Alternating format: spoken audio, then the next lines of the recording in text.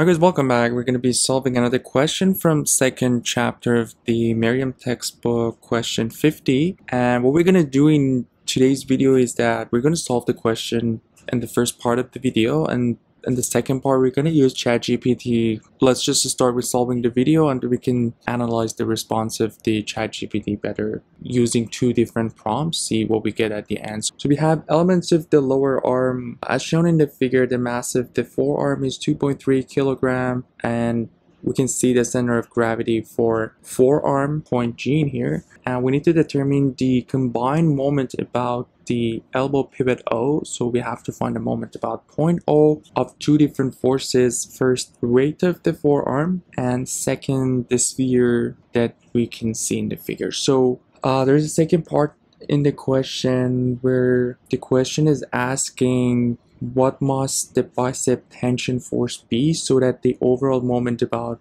0.0 is zero or we are in equilibrium. So let's start with the first part of the equation where we need to find the moment of the, the forearm and the sphere. So we're looking for moment about 0.0, we're gonna call counterclockwise positive and we have two different moments. We have obviously the moment of the forearm which uh, we have to figure it out. So we're going to use the 2D shortcut that we have. So this is uh, the line of action of the force. And if we look at the figure, we'll see that the uh, the force are already in Newton, which is the weight or mass times acceleration of gravity, which will be g or 9.81 meter per square second. So uh, since we have the mass in the question, we have to multiply that by g in order to get the w, which at the end it will be Newton. So that's why all of these are multiplied by 9.81. So Looking at the forearm, we see that the moment about point O is in this direction, which is clockwise, so we have a negative sign. As I mentioned, the force is 2.3 times 9.81, so that's the W or the weight. And the distance that we are interested is the vertical distance to the line of action. So this distance, uh, which will be what we have from here to here, we know this angle is 55 degrees. And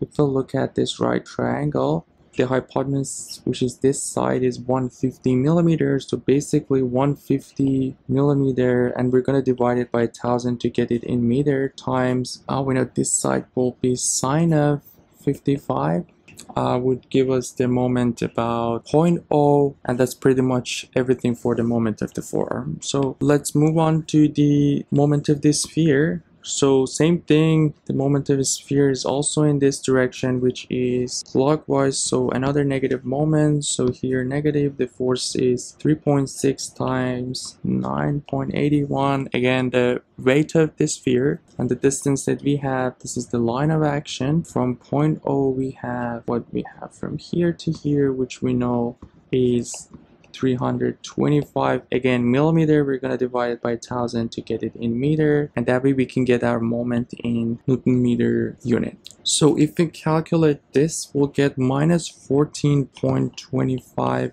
Newton meter and the negative sign in here shows uh, clockwise moment since we assume counterclockwise positive. So that's the answer for the first part of the question, 14.25. So let's move on to the second part of the equation where we need to find the, the tension. So basically uh, sum of all moments about point O has to be zero again counterclockwise positive which is basically the moment of the forearm and sphere where we found was 14.25 plus the moment of the tension uh, in the biceps that as we can see that moment is in this direction which is counterclockwise so we have a positive sign basically have t times the distance. So this is uh, the distance that we are looking for, or I should say the vertical distance, which from the question, let me clear the, the figure, it's, it's a bit messy now. So what we are interested in here is basically distance from here to here,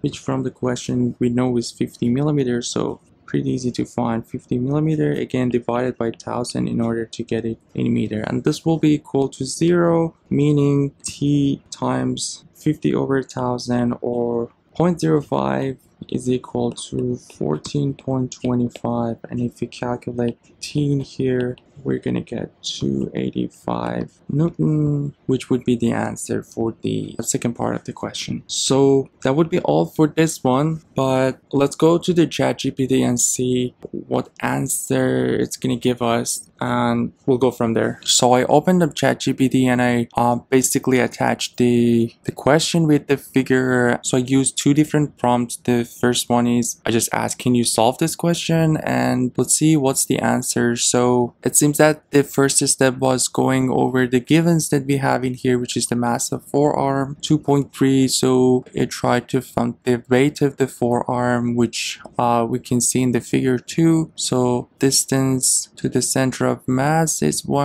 150 okay that that distance can be a little bit confusing because for finding the moment we need the vertical distance which will be actually 150 times uh, sine of 55 so like this seems a little bit but let's see where it goes with this. So so it seems that it did the same thing for the sphere 2 again. It found the weight and the distance okay this distance is correct because that's the 325 millimeter that we have but the other one is not the vertical distance or the distance that we are looking from point O to the line of action of the forearm. But since we have the distance for this sphere okay the this distance is actually correct but again but again i think it's because of the figure and the way we have the distances in the figure so calculate the moment. So yeah that's what i was thinking. So the distance that chatgpt is using for finding the moment of forearm is 0.15 which is not correct distance. Uh, as i mentioned this has to be 0.15 times sine of 55 so that's not correct but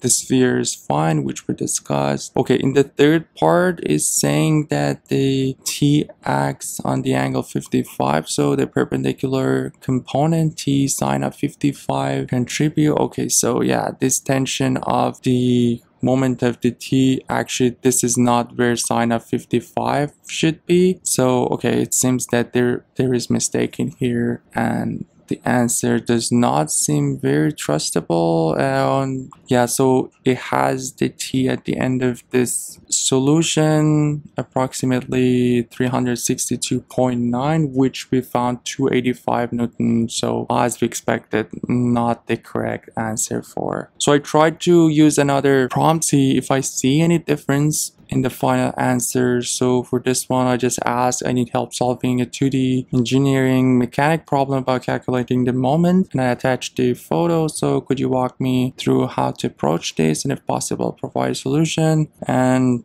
if we look at the answer, we'll see, yeah, we have pretty much the same thing. And yeah, we have that wrong distance here too. No sine of 55, the angle. So yeah, not much difference everything's the same. And yeah again that sine of 55 degrees for tension as opposed to moment of the forearm. And here yeah it looks like that ChatGPT doesn't seem trustable for this question. But again this is my first try for for using ChatGPT to find the answers for engineering mechanics question. And actually this is not a very complicated question. It's a simple 2d moment question. But I'll try more on like different question. See it can be helpful. I mean it's not like completely useless but like not much helpful in this one. But i'll keep you updated in the next questions and we'll see if we can use look obviously ChatGPT is helping in a lot of things but in this case like at least not useful in this one. Well let's see what happens in the next videos. Yeah that would be all for this one. Hope you guys find this helpful and don't forget to subscribe like and comment and let me know if you have any specific question in your mind feel free to drop it in a comment. We're covering three textbooks in this channel, so feel free to ask any questions about those. And I'll see you guys in the next video. Have a good one.